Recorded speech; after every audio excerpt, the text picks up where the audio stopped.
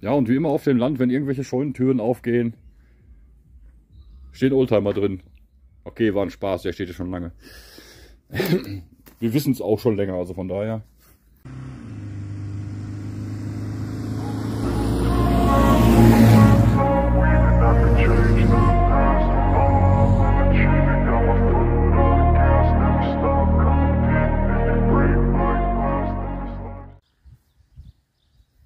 Ja, moin zusammen.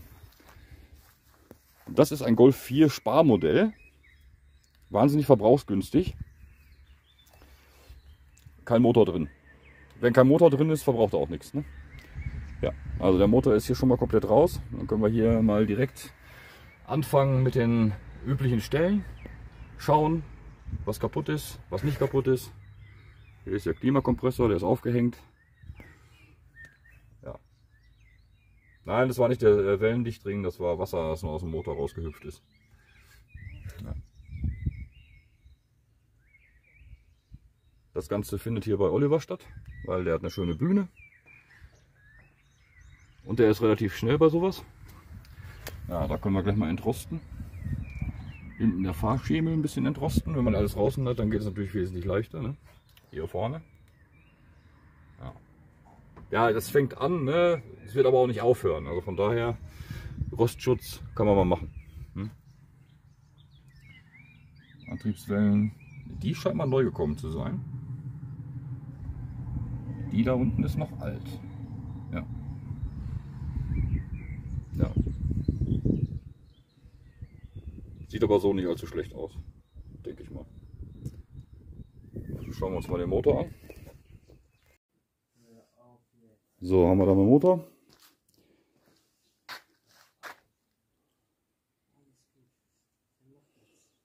So.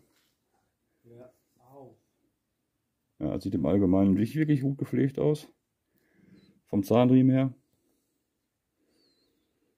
Ja, also das mit den äh, vor zwei Jahren mit Rechnung, das könnt ihr mal in die Tonne treten, das könnt ihr vergessen. Das hat nicht stattgefunden. Ja, wie gesagt, hier ist noch ein bisschen was rausgelaufen, ist klar. Das ist auch ein Motorkran, ne? Kupplung. Uns mal entscheiden, ob wir das, ob wir das Ding mit übernehmen. Der Motor, die Kupplung an einem anderen Motor ist auch nicht wahnsinnig alt. Also von daher sollte da nicht viel passieren.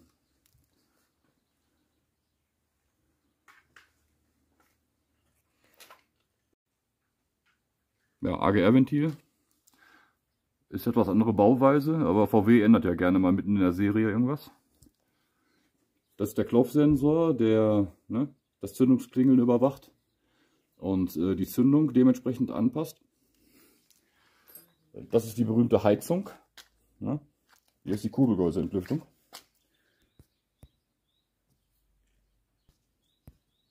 So Kurbelgehäuseentlüftung, die in dem Fall beheizt ist. Wie gesagt, letzte Ausbaustufe vom 1416V. Ja.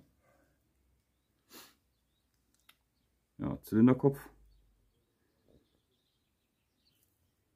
Ich kann mich irren, aber hier und da scheint er mal ein bisschen rausgesifft zu haben. Der scheint aber auch mal eine neue Dichtung gekriegt zu haben hier.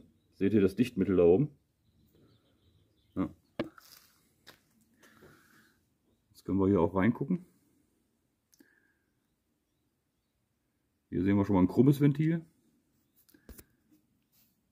Hier sehen wir zwei krumme Ventile.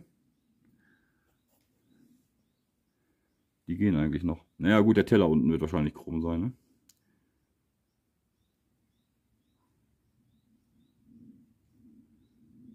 Ne?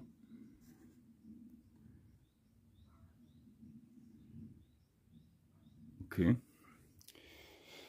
Ja, wieder Motor weniger. Aus Gründen. Das Einzige, was wir jetzt übernehmen müssen, ist das hier. Diesen Aggregateträger. Den hat der andere anders, weil kein Klima. Aber ja, unten ist jetzt die Klima mit dran. Da unten wäre das praktisch nicht mehr da. Also hier fehlt das ganze Stück. Ne? Aber ist ja kein Ding, ne? ist ja geschraubt. Von daher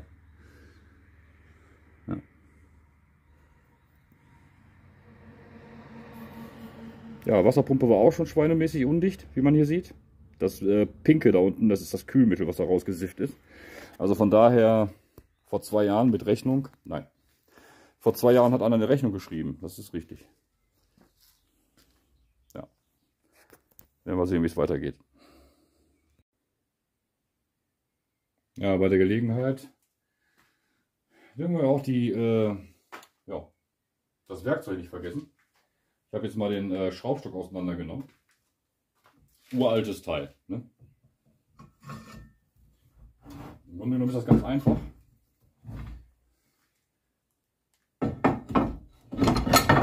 So, jetzt sitzt die Schnecke davor. Ja. Jetzt funktioniert der. So, hier unten müssen wir festhalten, ein bisschen anheben. Dann bewegt er sich irgendwann nicht mehr. So. Ja. Muss auch ab und zu mal gemacht werden. Ne?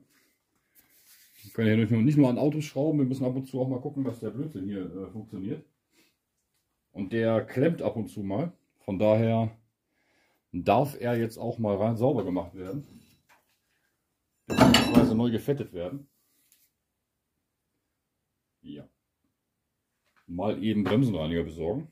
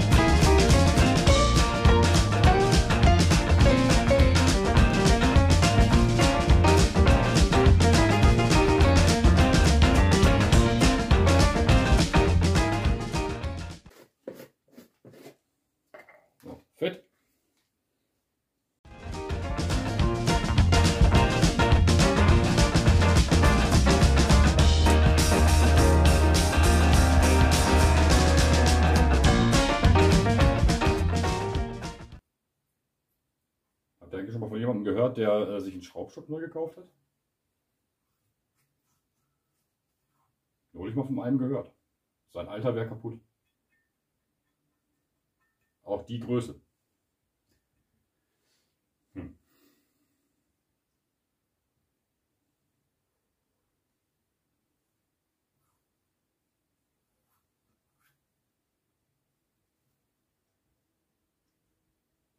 Das ordne ich irgendwo Richtung, äh, mein Amboss ist kaputt ein. Habe ich persönlich noch nicht gesehen, dass so ein Ding kaputt geht, aber okay.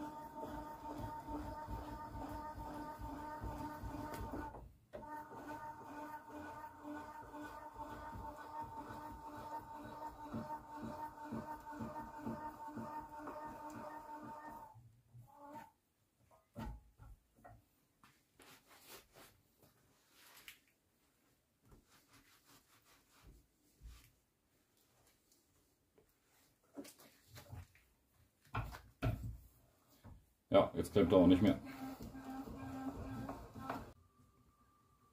So, jetzt haben wir ein großes Problem. Hier sehen wir den Golf. So, und VW hat es geschafft, mitten in der Serie äh, etwas völlig anderes zusammenzubauen. Ja, das ist der gleiche Motor. Aber irgendwie ist da was irgendwas anderes. So. Und jetzt heißt es, entweder verzweifeln, neuen Motor kaufen oder ist der gleiche Motor, ne? Exakt der gleiche. Und jetzt heißt es ganz schlicht und ergreifend, äh, wir gucken uns die Kolben an, den Zylinderkopf runter, Zylinderkopf durchtauschen, weil wir brauchen offensichtlich den Block. Ich habe auch gerade nachgeguckt, wir kriegen keinen anderen Motor. Diesen Motor mit dem Kennbuchstaben scheint es offensichtlich äh, in zwei Evolutionsstufen zu geben, auch wieder mal. Ja. Das Getriebe schraubt man also ins Leere. Hier, ne?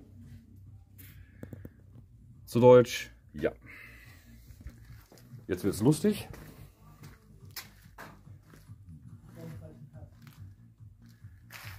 Ja.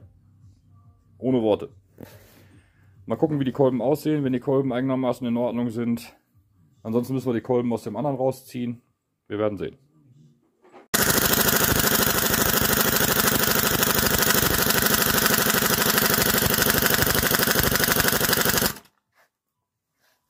Kompressor alle? Verdammt.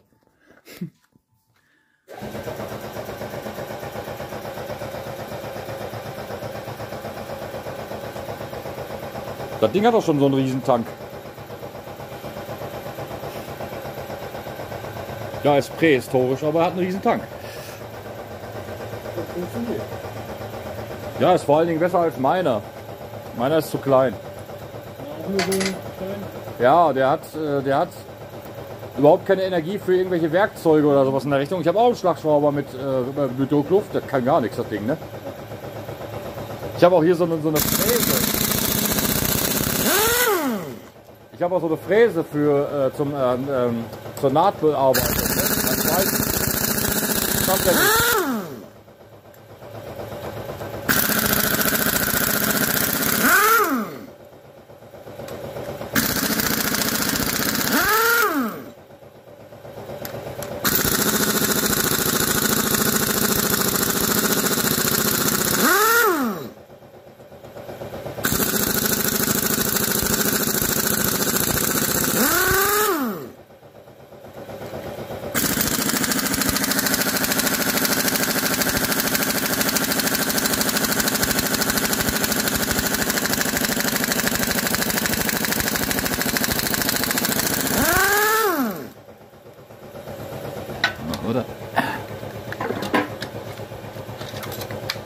So. Ich nehme ihn mal mit.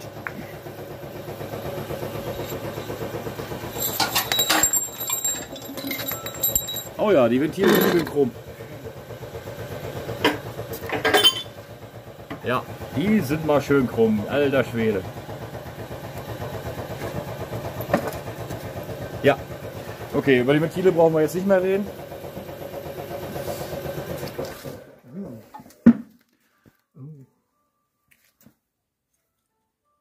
Frage ist jetzt, äh, was, hat, äh, was haben die Kolben abgekriegt? Nur ein bisschen so. Ob die Kerben da oben gehören so. Da da aufgesetzt. Rotierende Drahtbüste, das ist sowas. Mal schauen wir uns mal die Zylinder an. Okay, kenne ich besser, aber naja, ist Ölkohle drin. Ne?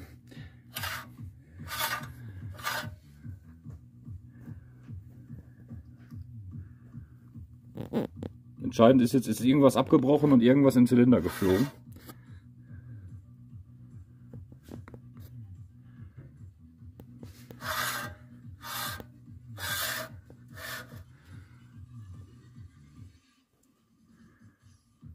sieht eigentlich gut aus.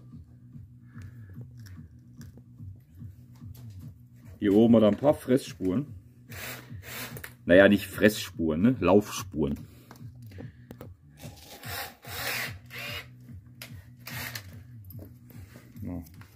Ich mache mal eben die Kolben sauber, dann sehen wir es gleich wieder. Okay, die Kolben sind jetzt sauber. Auslassventil. Hier ist der Ölfilter, ergo die Seite ist Auslass. Auslassventil aufgeschlagen, hier auch. Motor lässt sich einwandfrei drehen. Auch hier Auslassventil. Einlassventil ist noch fällig. Hier ist auch nicht so schlimm. Hier Ein ordentlicher Hip.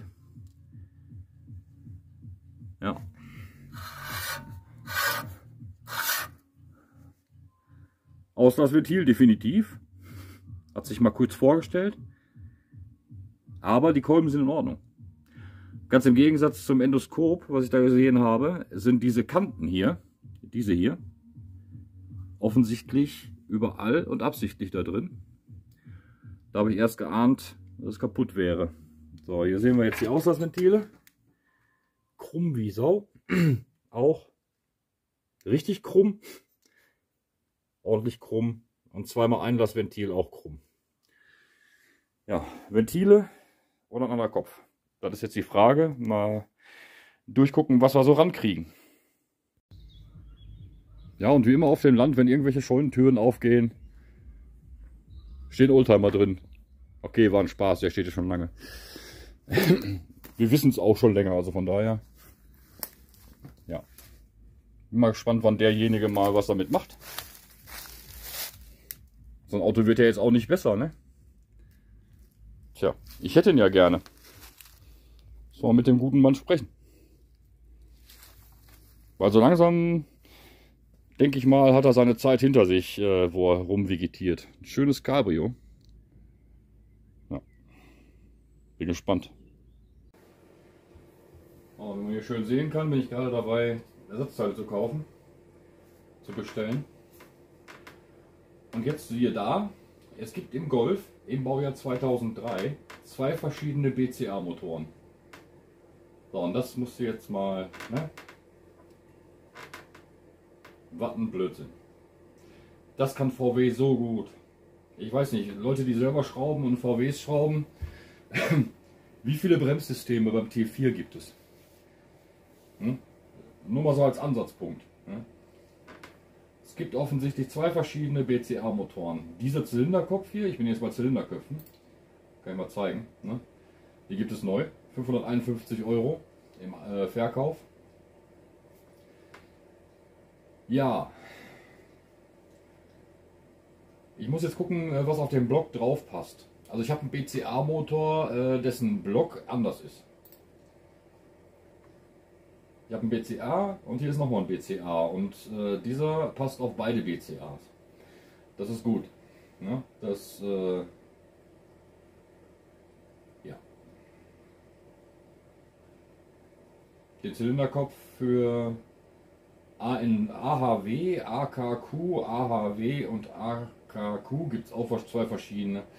Äh, ja, gibt es auch noch, auch für 551 Euro. Es geht jetzt erstmal um äh, das, was passt. Ne? Jetzt gehe ich hier auf die Nummer. Verknüpfte Fahrzeuge. VW. Lupo, Polo, New Beetle, Golf Plus. Im Golf Plus haben sie das Ding eingebaut, alter Schwede. Ja. Die Firma Meyer Motoren macht das übrigens. Ne? Das sind überholte Motoren. Die sind äh, quasi in Wurfweite von hier. Könnt ihr euch mal erkundigen, die bauen auch äh, Oldtimer-Motoren nach. Ja, die sind durchaus kompetent. Ne? Da ist auch die Firma Hildebrand Motoren, wo ich zum Beispiel meine Zylinderköpfe zum Planen wegbringe. Das, äh, ja, das ist die, äh, ist die Firma.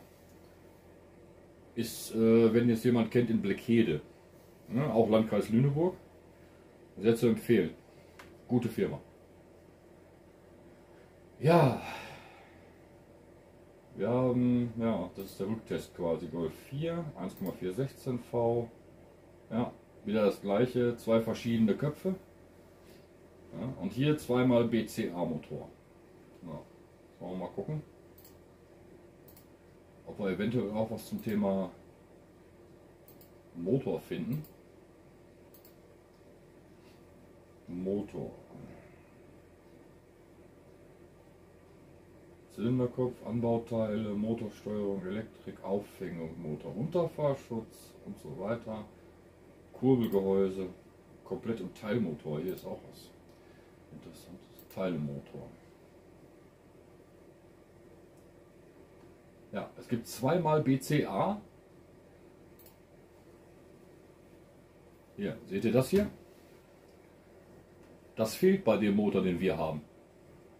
Und das haben die mittendrin geändert. Ja, das ist der eine. Ja, sehen beide gleich aus.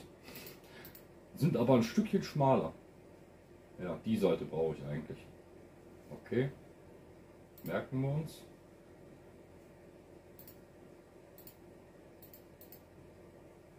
Ja, das sieht ein bisschen anders aus, ne?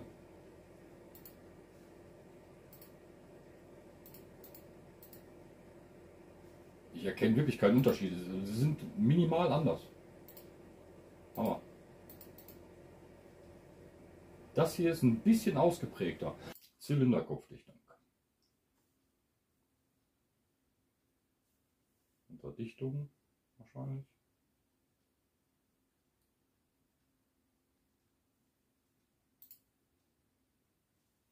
Zylinderkopfdichtung. Ja, und die passt wieder auf allen Motoren. Das kannst du keinem erklären. Wir denn für eine? Drauf ist eine Metalllagendichtung, ist auch eine.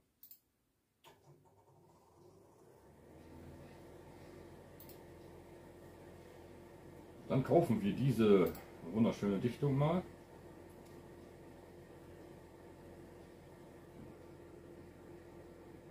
Metalllagendichtung mit Ventilstoffabdichtung brauchen wir nicht, die nehmen wir nicht raus. Der andere Motor, den habe ich Probe gefahren. Und jetzt nochmal ganz wichtig, keine Motoren kaufen, die irgendwo auf Halde liegen. Kauft lieber ein Schlachtfahrzeug, damit ihr den Motor noch ein paar Meter fahren könnt. Das äh, macht sonst keinen Sinn. So, das haben wir jetzt drin im Einkaufskorb. So, jetzt brauche ich Schrauben.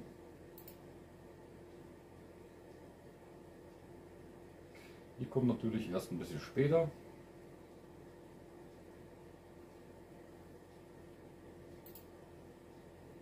Yep, das sind sie. Der Kater ist zu Hause.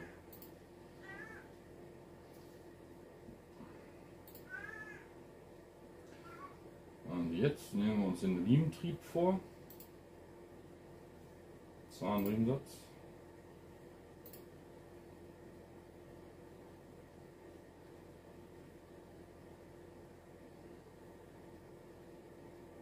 Wasserpumpe und Zahnriemen. Oh Gott, jetzt geht das los. Bis 12.03, bis 9.03. Oh Gott. Gucken, ob da irgendwo was zu erkennen ist. Ah, hier fehlt dieser Hebel. Und zwar der hier. Ich sage ja, mein Ersatzteil muss man so tierisch aufpassen, was man da kauft. Ne? Also diese Umlenkrolle hier oben, dieser Hebel, ist bei den beiden Motoren, die wir jetzt da haben, komplett am Rasseln. Wasserpumpe, wie gesagt, steinalt bei dem äh, Motor aus dem Golf. Da ist überall alles voller Kristalle.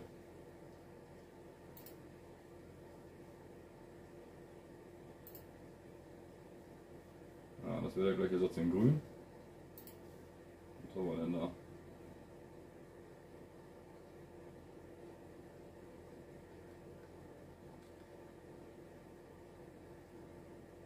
Ja, das ist Continental, BCA Motor.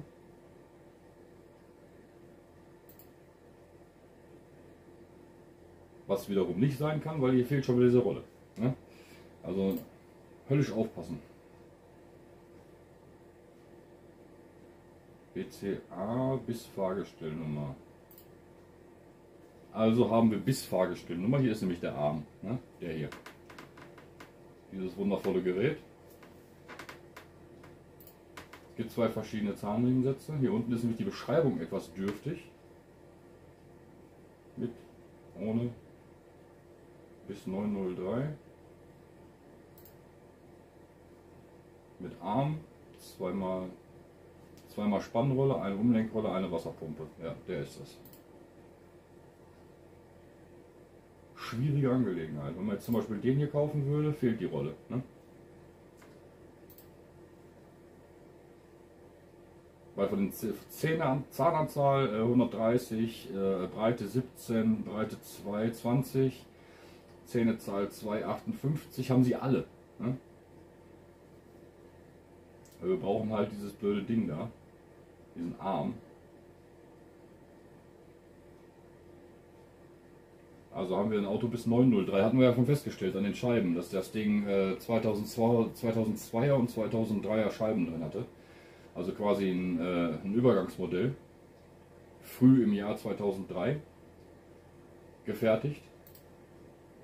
Also ist das unser Zahnriemensatz hier. Und kaufen. Ja. Ich denke, damit haben wir das. So, und damit komme ich auch zum Ende. Mehr als Computermonitor ist heute nicht mehr. Tja, ich würde sagen, ich wünsche euch noch eine schöne Woche. Wir sehen uns Donnerstag wieder, denke ich. Wenn ich es schaffe. Ist noch nicht ganz sicher, ob Donnerstag ein Video kommt. Ja, das ist gerade etwas kompliziert. Ja, weil wir weg müssen. Ja, Kater, alles gut. Oh Gott. Ja, äh, weil wir weg müssen. Ein Auto transportieren. Deshalb weiß ich nicht, äh, ob das äh, alles so reibungslos funktioniert. Ja, ist doch gut. Komischer Kater. Ähm, ja. Ja, ne, Geld verdienen geht vor, ganz schlicht und ergreifend. So viel verdiene ich mit äh, YouTube auch wieder nicht. Oder mit äh, Amazon. Mit den äh, Käufen von euch. Keine Beschwerde. Ne? Das soll ja auch kein Job sein. Ne? Aber wir müssen ein Auto transportieren. Und äh, im Moment ist es schwierig, offensichtlich jemanden zu kriegen, der unter 300 Euro die Stunde fürs Abschleppen nimmt. Kein Scherz. 300 Euro die Stunde. Ja, wir machen es ein bisschen billiger, weil wir den Menschen kennen. Also von daher. Gut, dann wünsche ich euch was. Ne? Bis zum nächsten Mal. Ciao.